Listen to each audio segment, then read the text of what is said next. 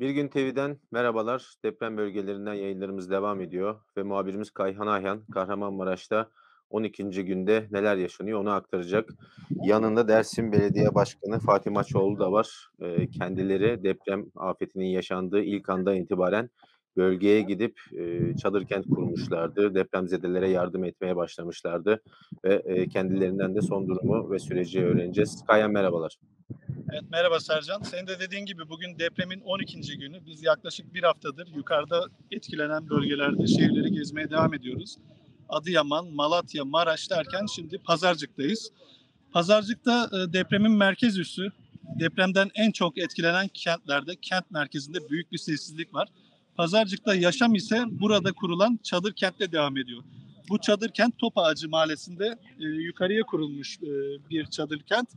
Çadır kentin kurulumunu ise Dersim Belediyesi e, öncülüğünde buradaki demokratik kitle örgütleri yapmış ve insanlar burada yaşamlarını idame ettirmeye çalışıyor. Çadır kentin bazı sorunları var ama büyük e, e, sorunlar çözülmüş durumda. E, şimdi e, bu kentin kurulumuna öncülük eden e, Dersim Belediye Başkanımız Sayın Fatih Mehmet Maçoğlu da yanımızda. E, Sayın Maçoğlu hoş geldiniz yayınımıza. hakkında bilgi alalım. Merhabalar, iyi yayınlar diliyorum. Sağ olun. Şimdi e, aslında ilk günden itibaren e, hangi deprem sürecinde nelerin olup olmadığını bir, bir tecrübemiz vardı. İşte bir Van var, Erzincan var, Elazığ, Malatya bölgelerde. Geldiğimizde e, ilk iki gün daha çok böyle e, insanları kurtarmak için çabaladık. Sonra iki gün sonra AFAD girmeye başlayınca bizleri e, bırakmadılar. Çünkü e, binalar halen yıkılıyordu, depremler oluyordu, hala artçılar vardı ve bir tehlikenin olduğunu söyledi. Bizi çektiler. Biz daha çok lojistik çalışmalar yaptık. Yani temel ihtiyaçlar üzerinde bir çalışma yürüttük. İşte çalışmalar, e, çadırlar kurmaya başladık. 354'e yakın çadırlar kurduk. İki yemekhane kurduk. Sonra sağlık ocağı kurduk. Şu anda o çocukların oyun alanlarını kurmaya başladık. Elektrikler geldi, sobalar geldi. Diğer ihtiyaçlar için e, artık eski e, şeyleri yaşam biçimini bildiğimiz için e, hemen tencere ve ibrik dağıttık. Sobalar üzerinde en azından leğenlerle beraber çocuklarını, kendilerini ya da cildiye herhangi bir hastalığı sorunu olanların en azından banyo küçücük küçük de olsa banyo yapılması için. Şimdi de artık e, tuvalet ve banyoları kurmaya çalışıyoruz. Tuvalet zaten başkanım sözünü kestim burada çok büyük bir ihtiyaçtı. Dün kurulmaya başladı. Hijyen konusunda da bazı sorunlar var. Ee, salgın hastalıklar başlamış durumda. Hani bununla ilgili sizin bir koordine ettiğiniz bir durum var mı? AFAD'la bunların bilgilerini paylaşıyor musunuz? Var. Şöyle, e, burada doktor arkadaşlarımız zaten bu özellikle cildi hastalıklar ve e, diğer e, üst solunum yolu enfeksiyon hastalıkları falan başlıyor. Hemen müdahale ettiler. İkinci günden itibaren biz kurduk aslında reviri. Sağ olsun e, Tabipler Birliği'ne bağlı ya da burada hastanede doktor arkadaşlar hızlı geldi. Sağlık emekçileri hızlı geldi. Ben de bir sağlık emekçisiyim. E, 25 yıl çalıştım. Şimdi e, tuvaletleri, konteyner tuvaletler kuruyoruz. Yani e, kadınlı erkekli banyolu ve tuvalet şeklinde kuruyoruz. Şu anda bir dostumuz, bir arkadaşımız e, bir iş insanı üzerinde bir çalışma yürütüyoruz. E, şu anda kesimleri başladı. E, cumartesiden itibaren kurulacak. Ama bu kurduk, kurulan 7-8 tane daha çok böyle hızlı kuruldu kurulan şeyler. Bir de tecrübe ettiğimiz bir şey var. Yani insanları çıkardıktan sonra açlıkta ya da soğukta çok etkilenir ama öl, ölmez insan biliyor musun? Hemen birbirimize yardım ediyoruz. Yani komşusu birbirine yardım ediyor şu ama bir şeyi öldürüyor. Yani arama kurtarmayla ilgili araçlar almazsa, arama kurtarma ekipleri iyi e, örgütlenmez ve iyi eğitim yapılmazsa, bütün alanlarda ki yaşayan o yereldeki insanlarla ilgili bu eğitimle ve şeyler yapılmazsa e, insan ölümü çoğalıyor. Mesela e, burada araçlarla buraya girilmiş olsaydı AFAD ve benzeri buradaki itfaiye grupları burada direkt buralara girmiş olsaydı biz mesela bizim arkadaşlarımız 53-54 tane çıkardı. Belki 100 tane çıkaracak. Belki 200 tane çıkaracaklardı. Yani dışarıya çıkan insan ölmez ama enkaza kalan ölüyor. Burada Onun için buna dikkat etmemiz lazım. Müdahalede geç kalındı o zaman başkanım burada. Değil? İki gün geç. İki gün sonra. Sayın Maçoğlu, Sayın Maçoğlu. Efendim. Şimdi AFAD'dan yetkililer diyor ki e, müdahalede geç kalmadık biz. Fakat sahadan hem muhabirlerimiz, Kayan arkadaşımız gibi e, alana gidenler e, biz geldiğimizde AFAD yoktu diyorlar. Birçok yerden e, bu bilgiyi alıyoruz. Devlet kurumları tabii ki de büyük bir zafiyet gösterdiler. Ancak, onların yapamadıkları, sizin başardığınız ne oldu? Siz nasıl, eee, yapabildiniz ve yetişebildiniz oralara?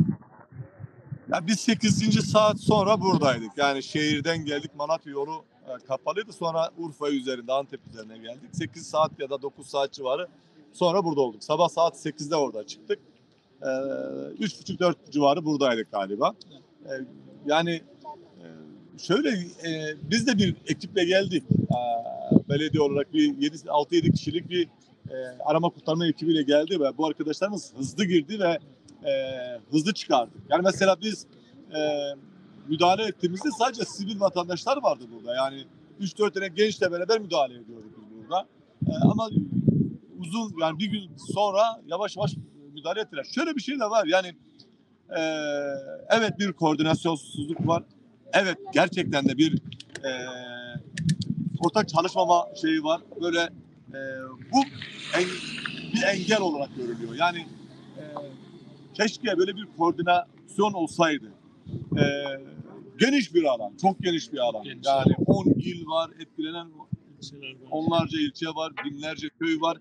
E, muhakkak yani bir yerde başlarında bir yere biraz gecikilebilir ama yani şehir merkezinde bile gecikildi. Yani şunu onu söylemek istiyorum. Mesela biz iki, aynı gün akşamında köylere gitmek istedik. 4-5 köyün yolu kırıldığı için giremedik. Bilemedim.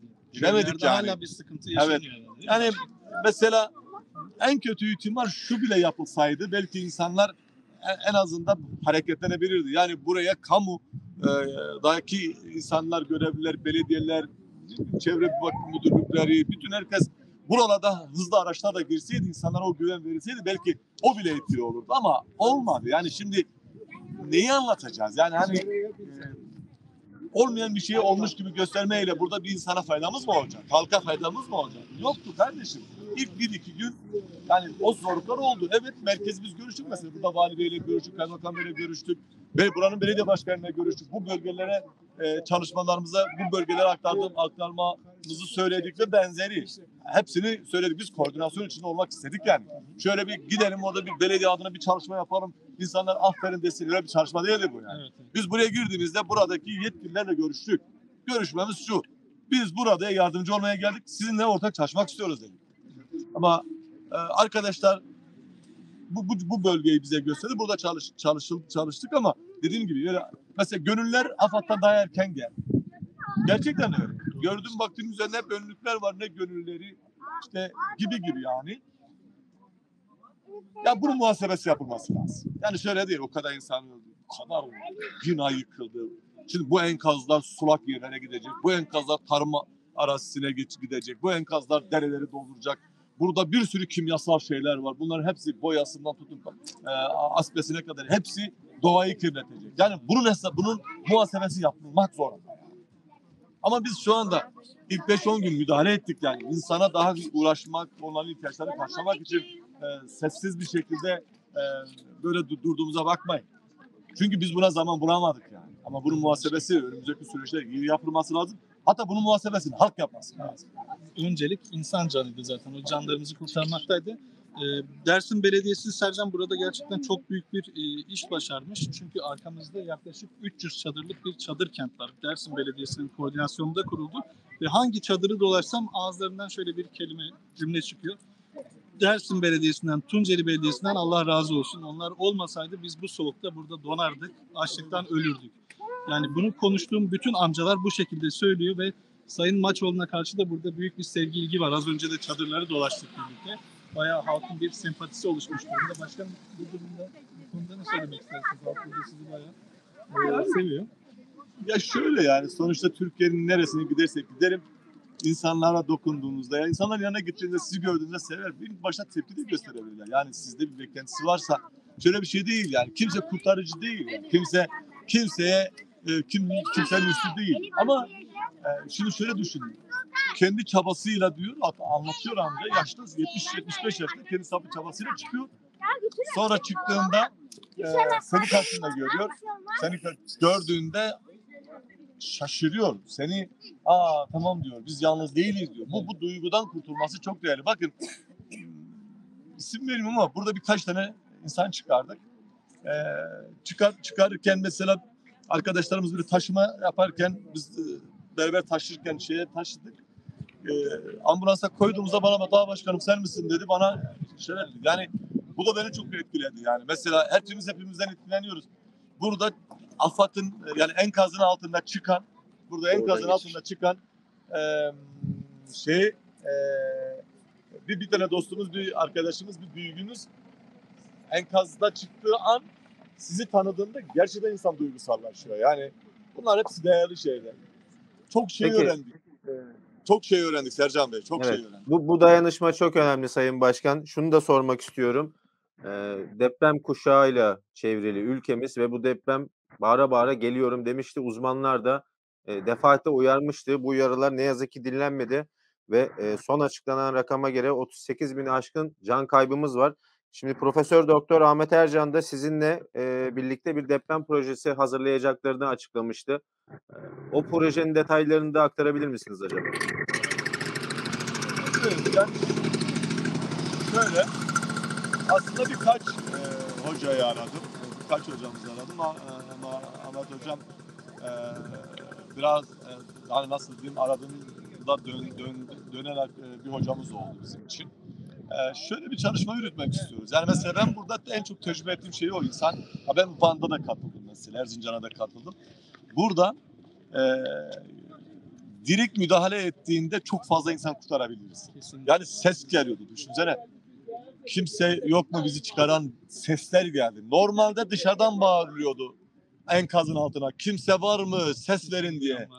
Ya o, ben buraya ilk yet- yetiştiğimde o o nasıl diyeyim akşam e, inanın ki o sesler hala kulağımda çınlıyor yani. Çocuk sesleri kimse yok mu bizi kurtarın diye. Yani ben şimdi e, burada hala bu, bu sorunu yaşayanlar içinde olduğum için ama ben yarın e, memlekete döndüğümde yani kafamı yastığa koyduğumda o sesler beni, beni e, rahatsız edecek. Gerçekten bir şey geçiriyorum yani. Kolay kolay unutulmayacak geçiriyorum. şeyler başkanım. Evet. Halk olarak. Evet, ama- Ee, amacımız şu yani onu ben bir o böyle bir projeye açıklamam çok etik değil. Doğru değil. Bütün eksik açıklarım.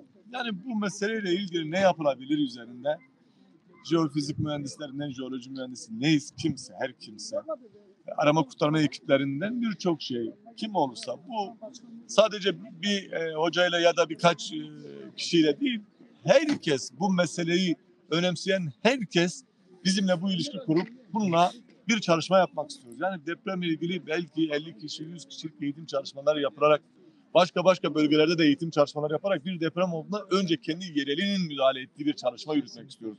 Bunu da yaygınlaştırmak istiyoruz. Bütün ülkeye yaygınlaştırmak istiyoruz. Yani buraya biz geldiğimizde buradaki eğitimci arkadaşlarımızın bizi yönlendirmesi lazım. Yani yoksa oradan buraya gel buradan çıkar bir sürü zaman 10 saat geçiyor. O koordinasyon hayat kurtarır aslında. Aynen öyle. Yani bunu da kamusal, kamusal bir ya da kamucu bir e, çalışma olarak e, yay, yay- yani yaymamız lazım. Yoksa emin olun e, hep zorlanacağız yani emin olun her şeyi. Ama şunu söyleyeyim. Bunların hepsini yapmamız lazım. Yapmazsak ne olur?